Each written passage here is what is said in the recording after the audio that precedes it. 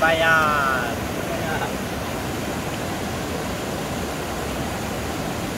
Berapa kartu?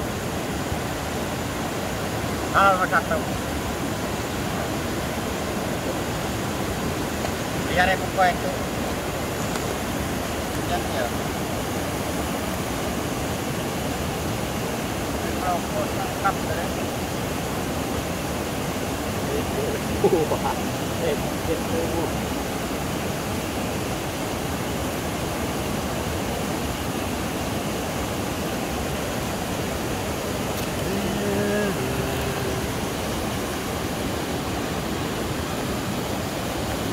Ya.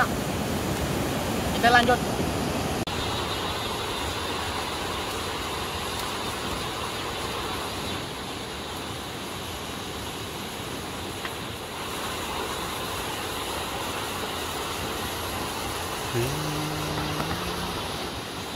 Kita cuma dapat satu ikan.